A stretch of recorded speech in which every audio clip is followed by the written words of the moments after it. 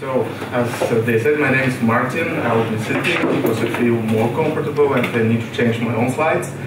So, uh, I'm the co-founder and VFX supervisor for Nu Boyana Effects. And today I'll ask you just to keep it real and um, take a while while I explain to you all the challenges to bringing realistic VFX to VR. And um, we've been uh, around for a year almost now, and for that uh, period we managed to work on some uh, really interesting uh, feature films. We also served some short movies, commercials, and recently we decided to go deeper into the next big thing, like people say, the VR, and see what all the fuss is about. But uh, before I move to that point, uh, let me show you some moving pictures and see what uh, we're doing at Nu Boyana Film Studios.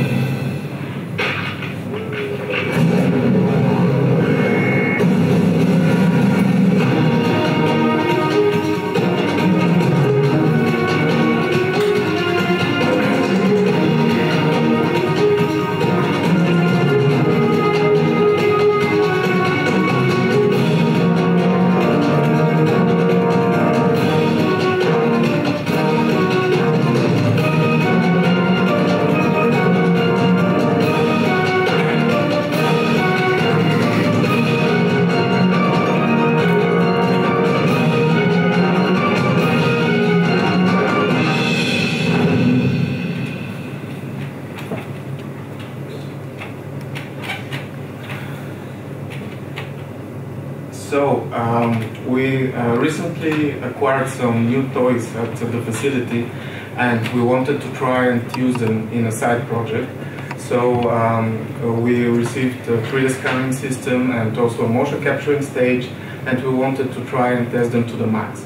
That's why we came up with a, a short um, one-shot movie, like a cinematic sequence. Uh, we had it rendered out using V-Ray, and afterwards our compositors created the cinematic look like a game. So, uh, long story short, I'll show it to you now, and afterwards, I'll show you how we moved forward from that point and created the same thing in VR.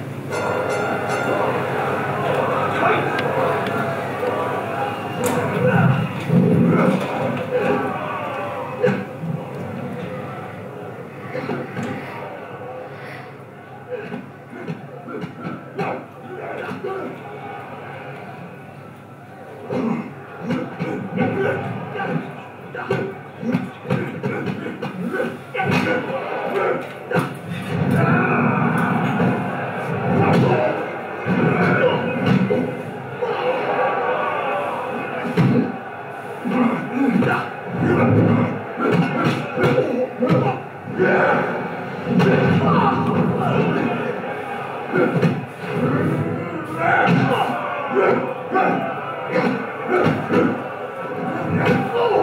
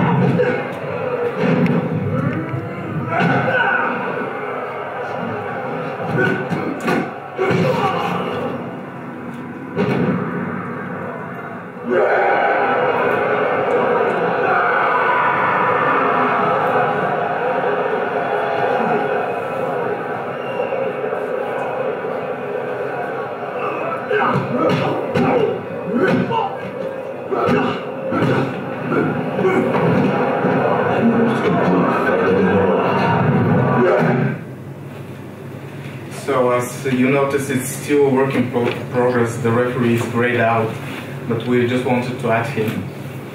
And um, we wanted to try and recreate the same fight, but in VR, to try and see what the technology can offer. So a little bit about the VR. Uh, VR is a computer-generated scenario uh, that is used to simulate the sense and perception in the human, in the viewer.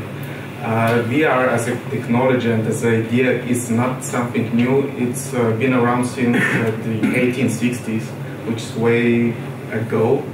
And uh, nowadays, the uh, rise of the VR technology is mainly because of the use of uh, mobile phones. All the VR headsets that are used today are based on the smartphone technology.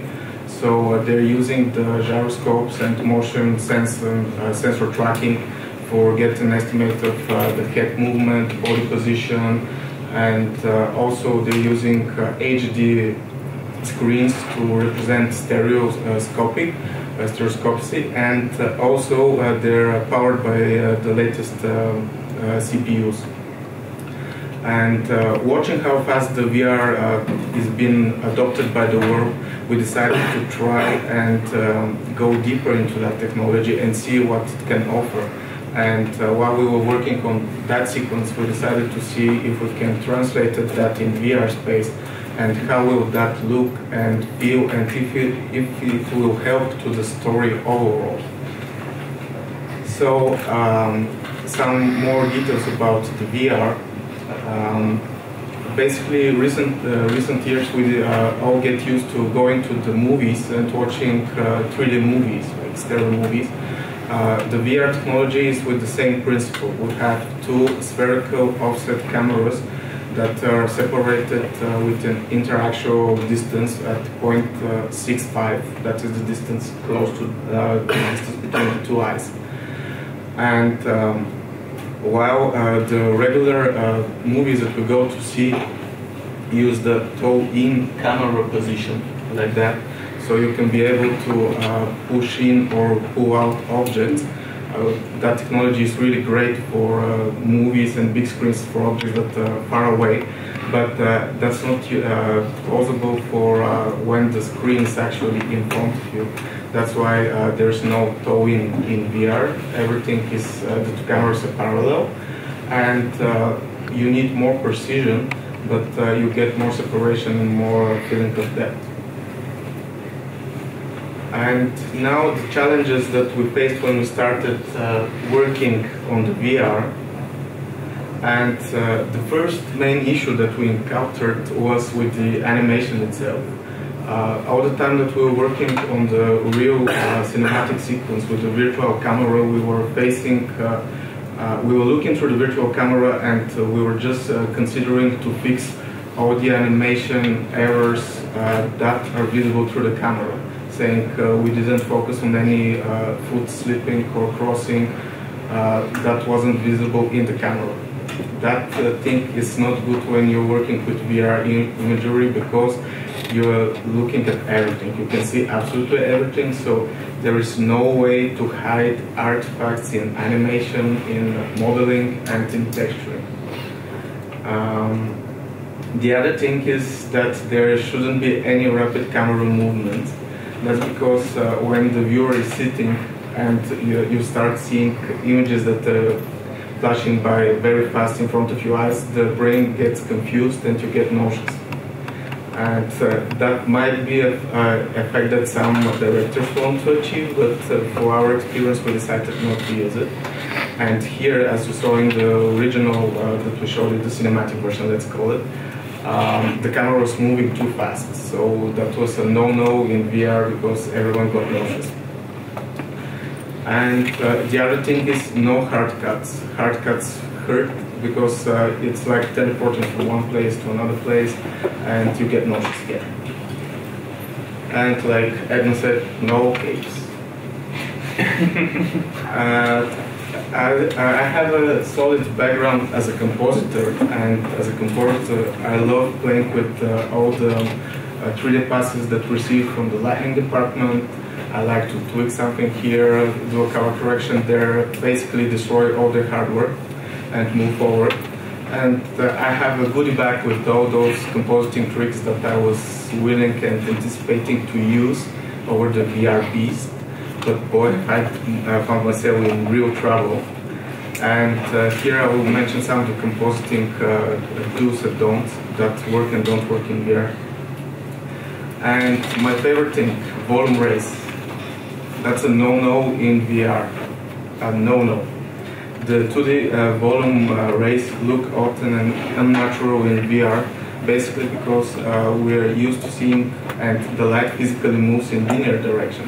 But when you um, put that over a lat long image, a VR image, it warps and looks like that. I don't know if you can tell how warped it looks. And uh, that can distract the viewer and can push her out of the whole experience and uh, it's not a good and fun thing to look at. Uh, we tried some uh, ways to surpass that uh, volume rays don't look good, and uh, finally we achieved uh, pretty good results using just small amount of volume rays that we placed in the middle of the screen and we also used uh, 3D cards that were with uh, volume rays and rather than using um, Nuke and a spherical camera. Uh, for the next thing, um, Michael Bay and J.J. Abrams will be very disappointed because there are no lens flares and no light leaks in VR.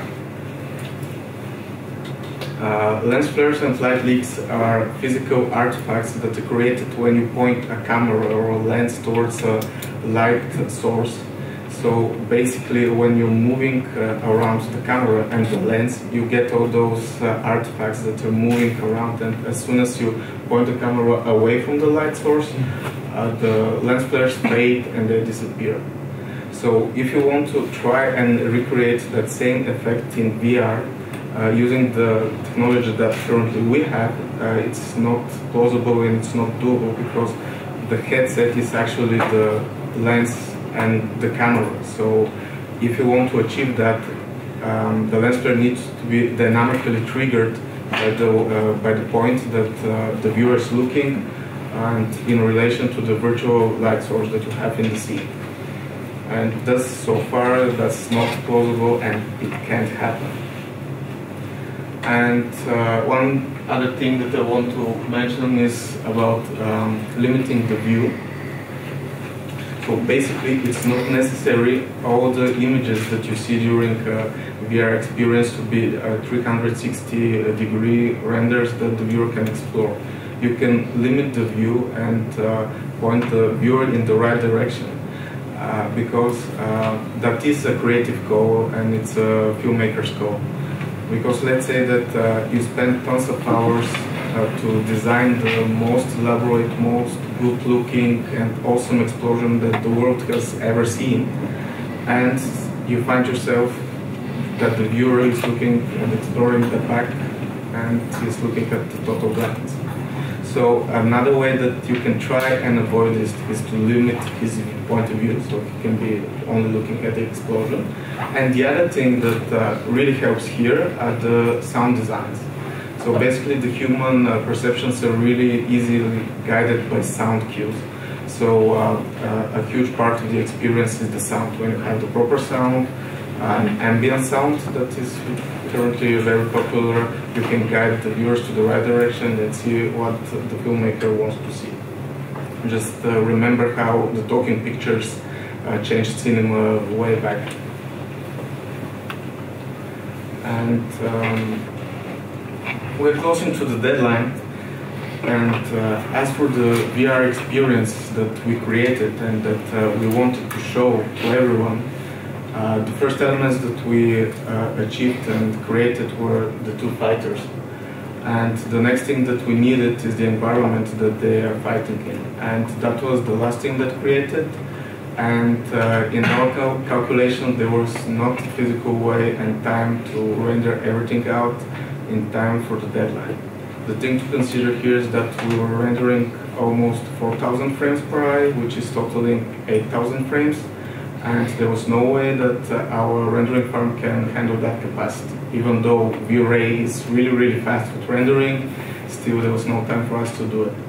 So uh, we started um, being creative, and uh, as, a, as I always say, to me, the greatest force that can um, make the artist start being creative and um, unlock his potential and his solving skills is the deadline. Deadline when the work is piling and uh, you're running out of coffee and you just need to figure out how to deliver stuff, you get creative. So our approach here was we rendered the whole uh, VR experience environment, which is a prism, and we rendered the cells, um, the fighting ring, the lamps, everything as a lat long image in a single frame. And afterwards, we used that lat long image in Nuke and we projected it on a sphere. And uh, we exported from Maya an Alembic cache with the uh, moving camera that we originally had and used that to just uh, uh reshoot the environment's movement and composited that on top. We used the absolute same technique for the fighting ring and for the lamps, but uh, uh, this time we used a, a, cylinder because we needed a flat surface for the fighters to step on, otherwise the 3D perception and the stereo was getting off.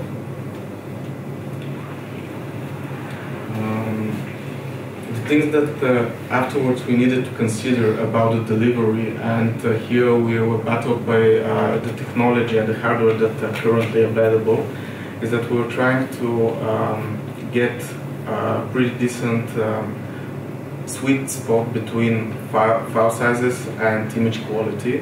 Uh, we tried delivering uh, the experience on mobile devices, which was a uh, true disaster because mobile devices can't handle big enough images and the stereo experience was really crappy and the phones were constantly getting warm and the batteries were dying so that was a no-no.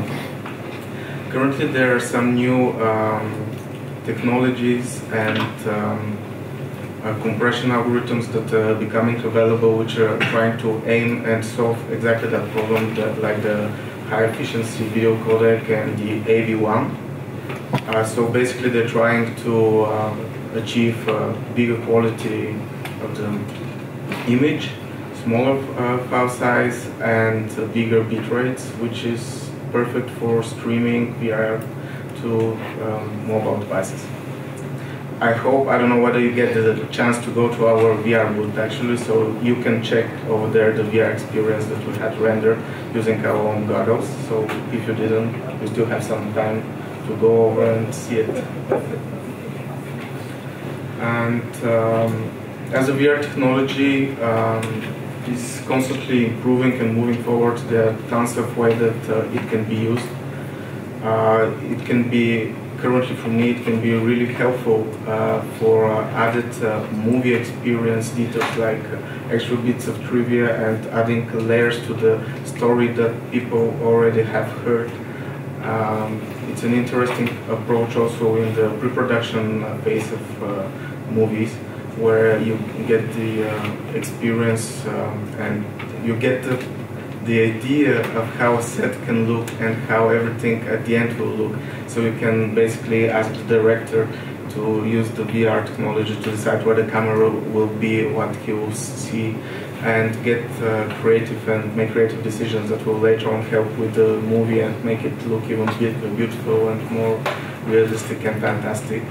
Uh, that's another way that you can evaluate and see uh, 3D creatures when they're 3D turntables. You just put the goggles and look uh, what they will look uh, in the final renders in the movie.